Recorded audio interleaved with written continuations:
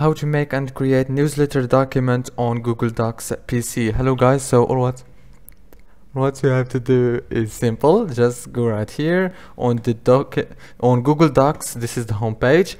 Click on template gallery and scroll down until you find newsletter.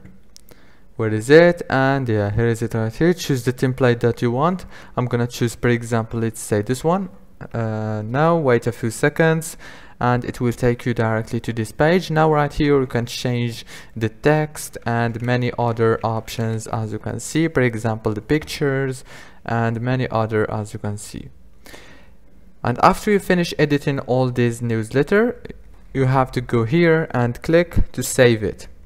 If this video was helpful, please don't forget to like, subscribe, and thank you so much for watching this video until the end. See you later.